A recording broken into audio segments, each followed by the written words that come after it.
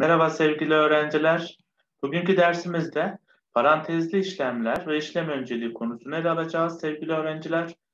Konumuza geçmeden önce kanalımda izlediğiniz videoları beğenip yorum yaparsanız sevinirim sevgili öğrenciler. Aynı zamanda kanalıma abone değilseniz abone olup bildirim zilini açmanız halinde daha sonra yüklediğim videolardan, duyurulardan haberdar olabilirsiniz. Evet şimdi konumuza geçebiliriz sevgili öğrenciler.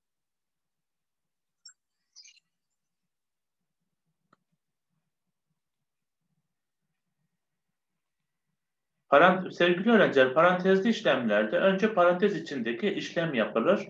Daha sonra parantez dışındaki işarete göre işlemler tamamlanır. Buna dikkat etmemiz gerekiyor. İşlem önceliği sırası şu şekildedir her zaman. Ee, üstü sayı verildiyse önce üstü sayı yapılmalıdır.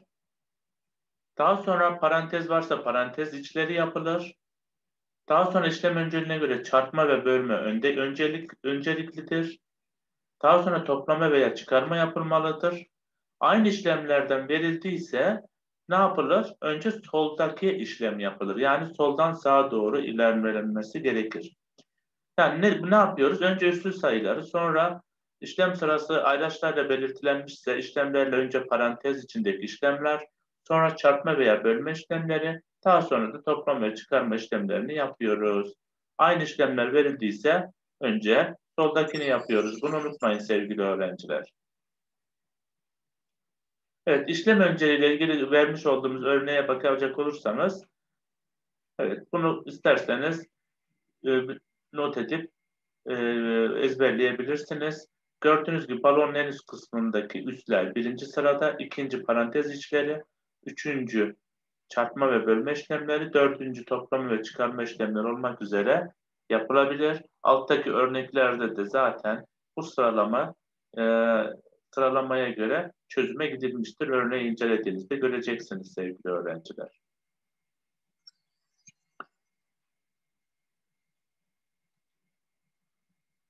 Evet, şimdi birkaç örnek yapalım isterseniz. Bu örneklerde de göreceksiniz ki parantezli işlemlerde nasıl bir yol izliyoruz? Bu örnekler size bunun pekiştirmesini sağlayacaktır. Evet, verilmiş olan örnekteki gibi önce parantez içindeki işlemi yapıyoruz. Yani çarpma işlemini yapıyoruz. Sonra çıkarma işlemine geçiyoruz ve sonuca ulaşıyoruz sevgili öğrenciler. Diğer bir örneğimize geçelim. Yine parantezli işlemlerde önce parantez içindeki çarpma işlemini yapıyoruz sevgili öğrenciler. Ardından çıkarma işlemini yapıp sonuca ulaşıyoruz. Diğer bir örneğimiz. Yine bu sefer bir parantezli işlem verilmiştir. Buna göre parantez içindeki toplama işlemini yaptıktan sonra bölme işlemini yapıp sonuca ulaşabiliriz sevgili öğrenciler. Diğer bir örneğimizde yine pekiştirelim bu örnekle. Önce parantez içindeki toplama işlemini yapıyoruz. Sonra bölme işlemine geçiyoruz ve sonuca ulaşmış oluyoruz sevgili öğrenciler. Evet. Parantezli işlemlerde yaparken önce parantezin içinde verilen işlemler yapılır. Sonra parantez dışındaki verilen işlemlere göre işlemler tamamlanır. Bunu tekrar hatırlatmak istedim size. Evet, işlem önceliğini tekrar göstermek istiyorum ve hatırlatmak istiyorum. Üstü sayılarla verilmişse önce üstü sayılar yapılır, sonra parantez işleri yapılır, sonra çarpma veya bölme, sonra toplama ve çıkarma. Aynı işlemler verilmişse soldan başlanarak işlemlere devam edilir. Bunu tekrar hatırlatıyorum ve ilerliyoruz birkaç örnekle bu konuyu yine pekiştirelim. Bakın bu örnekte olduğu gibi önce parantez içindeki birinci parantezdeki çarpma ve ikinci parantezdeki çıkarma işlemini yapıyoruz. Ardından ne yapıyoruz? Toplama işlemine geçiyoruz. Kurala göre önce birinci parantez içindeki çarpmayı, sonra ikinci parantez içindeki çıkarmayı yaparız.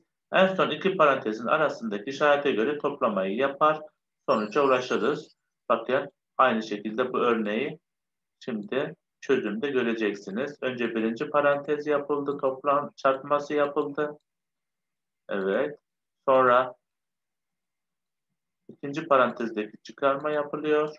Ve ardından ne yapıyoruz? Toplama işlemine, parantezli işlemler yapıldıktan sonra toplama işlemine geçebiliyoruz. Gördüğünüz gibi.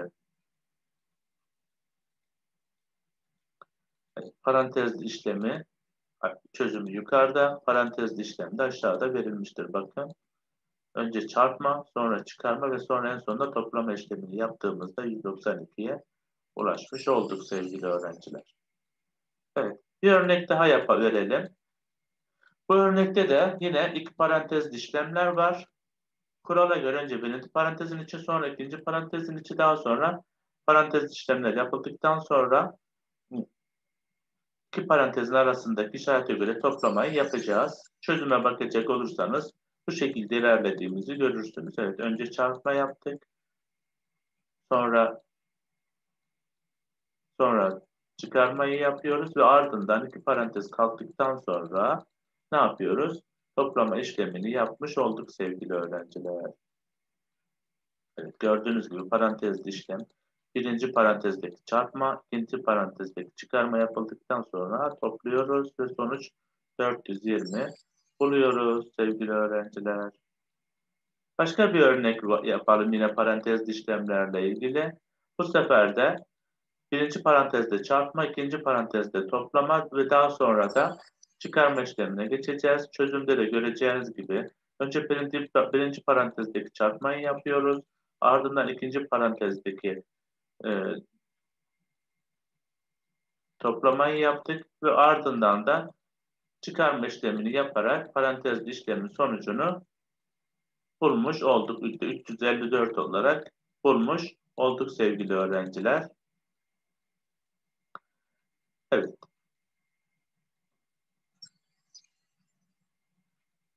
Bir örnek daha yapalım hemen. İki parantezli işlemlerde önce birinci parantez sonra ikinci parantez ve ardından da aradaki işlem işlemi yapıyoruz. Birinci parantezdeki çarpmayı yapıyoruz. İkinci parantezdeki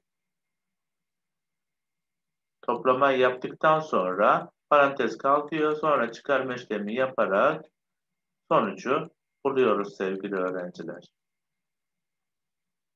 Bu şekilde yapabilirsiniz. Evet.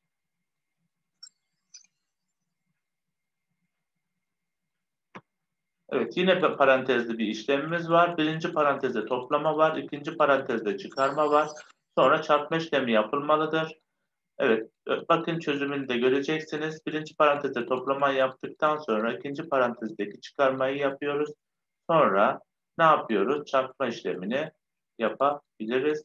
Çarpma işlemi sonucunda sonucu 171 bularak yazıyoruz sevgili öğrenciler. Bu şekilde bu kuralı öğrendiğiniz takdirde artık hiçbir hata yapmayacaksınız. Bu örneklerle de pekiştirmiş oldunuz konuyu sevgili öğrenciler. Bakın yine bir örneğimiz vardı. Bu örneğimizde de önce toplama, birinci parantezdeki toplama, ikinci parantezdeki çıkarmadan sonra e, daha sonra en son iki parantezin arasındaki işarete göre çarpmayı yapıyoruz ve sonuca ulaşıyoruz sevgili öğrenciler. Bakın önce toplama yaptık. Sonra çıkarma yapıyoruz ve ardından ne yapıyoruz?